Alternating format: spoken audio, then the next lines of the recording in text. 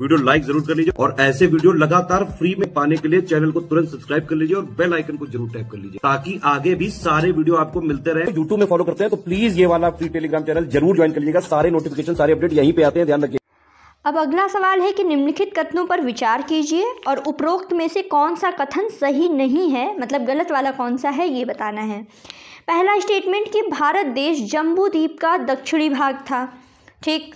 दूसरा स्टेटमेंट है कि मत्स्य पुराण में उल्लिखित है कि समुद्र के उत्तर में और हिमालय के दक्षिण में भारत देश स्थित है। फिर इसके बाद चीनियों ने भारत के लिए तियेनचू अथवा चुआंतु शब्द का प्रयोग किया। फिर है, प्राचीन भारत का इतिहास लिखने का सबसे पहला प्रयास जो है वो ईरानियों ने किया था। तो बताना है गलत कौन सा है? तो इसमें देखिए, गलत है आपका ऑप्शन सी सही उत्तर है। दूसरा स्टेटमेंट गलत और चौथा स्टेटमेंट गलत है भाई। पहला वाला तो सही है कि भारत देश जो है, वो जम्बू द्वीप का दक्षिणी भाग था, ठीक है? और तीसरा भी सही है कि चीनियों ने भारत के लिए तीनचू और शुआंतु शब्द का प्रयोग किया। अब वो दूसरे और चौथे स्टेटमेंट के बारे में देख लेते हैं। तो देखिए, मत्स्य पुराण नहीं, ये विष्णु पुराण है। विष्णु पुराण में बताया गया है कि समुद्र के उत्तर में और हिमालय के दक्षिण में जो देश स्थित है, वो भारत है। और दूसरा कि प्राचीन इतिहास लिखने का सबसे पहला प्रयास ईरानियों ने नहीं, बल्कि यूनानियों ने किया था। यूनानियों ने किया था जिसमें सर्वाधिक उल्लेखनीय है हेरोडोटस, निर्याकस, मेगास्थनीस, प्लीनी और एरियन। ये लोग प्रमुख हैं। ठीक है? तो ये हो गया। अब अगले सवाल की तरफ़ बढ़ते हैं। अगला सवाल दिया गया है कि शंकराचार्य द्वारा स्थापित चारों मठों को सूची एक और सूची दो से मिलान करना है। ठीक है? तो बद्रीनाथ में क्या है? बद्रीनाथ है आपका ज्योतिर्मठ। ठीक है? फिर उसके बाद द्वारका क्या है? द्वारका शारदा मठ है। पुरी पुरी है गोवर्धन मठ और रामेश्वरम क्या है? ये है श्रृंगेरी मठ। इसके बारे में थोड़ा और डिटेल में देख लीजिए कि शंकराचार्य ने क्या किया था कि भारत के चारों छोरों पर एक चार मठ स्थापित किए थे, जिसमें उत्तर में, यानी सबसे ऊपर उत्तर में था आपका ज्योतिर्मठ, ठीक है? उसके बाद पश्चिम में पश्चिम में है शारदा मठ, पूर्व में है गोवर्धन मठ और उसके बाद दक्षिण में है आपका श्रृंगेरी मठ, ठीक है? श्रृंगेरी मठ। तो इस तरीके से चार मठ थे ये देख लीजिएगा। मोस्ट इंपॉर्टेंट ये एग्ज़ाम में भी कई बार पूछा गया है इसको एकदम याद कर लीजिएगा। अब आगे बढ़ते हैं। अगला फिर से यही दिया गया है कि निम्नलिखित कथनों पर आपको विचार करना है और बताना है कि कौन सा कथन है जो सही नहीं है। कौन सा कथन सही नहीं है? तो पहला है कि कल्हड़ ने राजतरंगिणी पुस्तक लिखी है। मतलब राजतरंगिणी के रा, राइटर हो गए कल्हड़। फिर है, अलबरूनी के बारे में। ये अलबरूनी भारत मोहम्मद गोरी के साथ आया था, ठीक है? ये काट दीजिए। अलबरूनी जो है, मोहम्मद गोरी के साथ भारत आया था। फिर है, मेगस्थनीज ने इंडिका नामक पुस्तक लिखी है।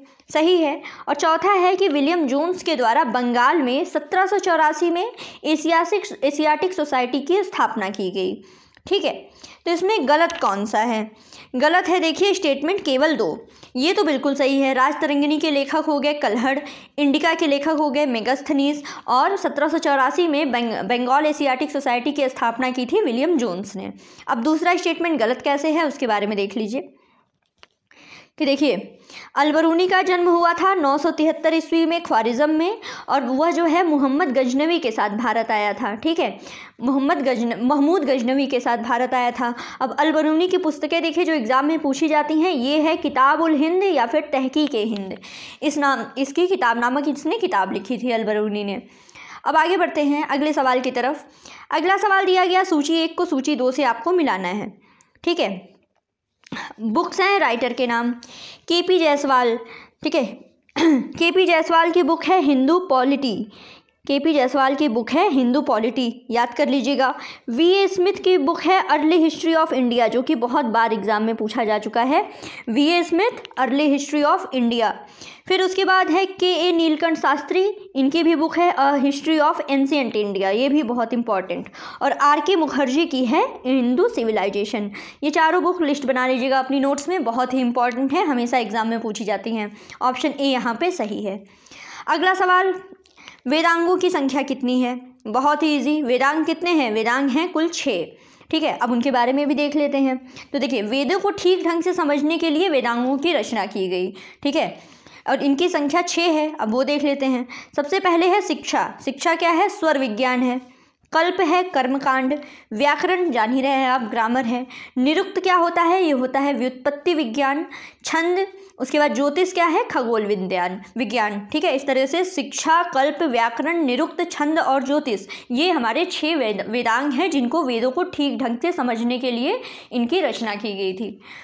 अब आगे बढ़ते हैं अगले सवाल की तरफ़। अगला सवाल दिया गया है कि कथनों पर विचार करना है और आपको बताना है कि कौन से कथन सही हैं। ठीक है, सबसे पहले बाणभट्ट ने हर्षचरित की रचना की। ठीक, फिर विलहर ने विक्रमादेव चरित की रचना की है। चंद्रबरदाई ने पृथ्वीराज रासो की रचना की और हेमचंद्र ने भोज प्रबंध की रचना की है। तो आपको बताना है कि कौन सा कथन सही है? तो यहाँ पे देखिए, पहला सही है, बाणभट्ट ने हर्षरित के रचनाकार कौन हैं? बाणभट्ट हैं। विक्रमा विक्रमादेव चरित्र के हैं विलहड़, पृथ्वीराज रासो के चंद्रबरदाई, ठीक है? लेकिन हेमचंद ने भोज प्रबंध की नहीं, बल्कि कुमार पाल चरित नामक पुस्तक की रचना की है, ठीक है? हेमचंद्र हो गए कुमार पाल चरित के रचनाकार। अब यहाँ पे सवाल आता है कि भोज प्रबंध के रचनाकार कौन हैं? तो ये हैं विल्लाल, ठीक है?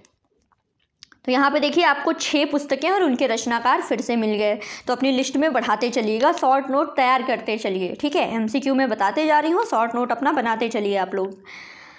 फिर है अगला सवाल। अब आपको बताना है कि कौन सा चीनी यात्री भारत आया था? ऑप्शन में दिया गया है फाहयान संगयुंग वेनसांग और इत्सिंग। ठीक है, कौन सा चीनी यात्री, सबसे पहले तो ये सभी चीनी यात्री हैं, ठीक है, इस तरीके से भी सवाल बन सकता है। तो याद रखिएगा, चीनी यात्रियों में कौन कौन है? फाहयान, सनयुंग, वेनसांग और रितसिंग। और भारत कौन आया था? तो भाई ये सभी भारत आए थे, ठीक है? ऑप्शन डी यहाँ पे सही सही है कि सभी भारत आए थे। अब इनके बारे में देख लेते हैं। देखिए, फाहयान की अगर बात करें तो ये चंद्रगुप्त विक्रमादित्य के दरबार में तीन सौ पैंतीस से लेकर के चार सौ पंद्रह ईस्वी के बीच में आया था। सन अगर नहीं याद कर पा रहे हैं तो याद कर लीजिए, फाहयान जो है, वो चंद्रगुप्त विक्रमादित्य के दरबार में था। फिर है, फिर संगयुंग की अगर बात करें तो ये पाँच सौ अठारह ईस्वी में भारत आया और तीन वर्ष की यात्रा में बौद्ध ग्रंथों की इसने प्रतियाँ एकत्रित की थी। ठीक है? अब चीनी यात्रियों में सबसे ज़्यादा महत्व किसका है? तो ये है वेनसांग और युआन चुआंग का। जो हर्ष के समय में छः सौ उनतीस में भारत में आया, यहाँ पे 16 साल तक रहा और उसने यात्रा वृत्तांत सीयूकी नाम से प्रसिद्ध है। ठीक है, वेन सांग का यात्रा वृत्तांत किस नाम से है? सीयूकी नाम से है। वेन सांग का ही नाम था आपका युआन चुआंग। ठीक है तो ये सीयूकी नाम से प्रसिद्ध है। अब आगे बढ़ते हैं और दूसरा, वेन सांग याद कर लीजिएगा, हर्ष के समय में भारत आया था। फिर उसके मित्र ने, वीली ने ह्वेनसांग की जीवनी लिखी है। और इत्सिंग की अगर बात करें तो ये छः सौ इकहत्तर में भारत आया था और अपने विवरण में नालंदा विश्वविद्यालय, विक्रमशिला विश्वविद्यालय और तथा अपने समय, उस समय के भारत का वर्णन किया था। तो ये बहुत ज़्यादा इंपॉर्टेंट है। आपके एग्ज़ाम में ऐसे भी डायरेक्ट पूछा जा सकता है कि वो कौन सा चीनी यात्री था जिसने नालंदा विश्वविद्यालय, विक्रमशिला विश्वविद्यालय का वर्णन किया था। तो याद रखिएगा, वो था इत्सिंग ठीक है? तो ये देख लिया आपने चीनी यात्रियों के बारे में। अब आगे बढ़ते हैं। आज का हमारा आखिरी सवाल रहेगा कि भारतीय प्राग ऐतिहासिक प्राग इतिहास को उद्घाटित करने का श्रेय किसे जाता है? ठीक है, भारतीय प्राग ऐतिहासिक को उद्घाटित करने का श्रेय किसे जाता है? Doctor Primrose sir Mortimer Wheeler, C L Carlyle और सर जॉन मॉर्शल। तो किसको जाता है ये? तो ये जो श्रेय है ये डॉक्टर प्राइम रोज को जाता है। ठीक है क्यों? क्योंकि उन्हों, उसने 1842 में कर्नाटक के रायचूर ज़िले के लिंगसूर नामक स्थान में प्रागैतिहासिक औजारों की खोज की थी। ठीक है, डॉक्टर प्राइम रोज इनकी खोज भी मोस्ट इंपॉर्टेंट है, याद कर लीजिएगा। रायचूर के लिंगसूर नामक स्थान पर प्रागैतिहासिक औजारों की खोज की थी और इसको प्रागैतिहास को उद्घाटित करने का श्रेय भी डॉक्टर प्राइम रोज को जाता है। तो ये रहे आपके प्राचीन इतिहास के दस M C Q I hope आप लोगों को पसंद आए होंगे। आपके U P P C S का एग्ज़ाम है M P P C S का एग्ज़ाम है, उत्तराखंड है, आपका आर ओ आर ओ का री एग्ज़ाम है। इन सभी के लिए देखिए बहुत ही ज़्यादा इंपॉर्टेंट है।